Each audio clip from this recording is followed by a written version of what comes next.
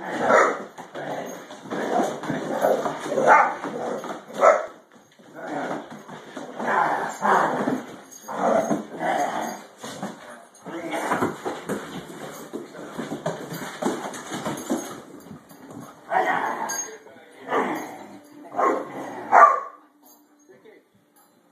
going on?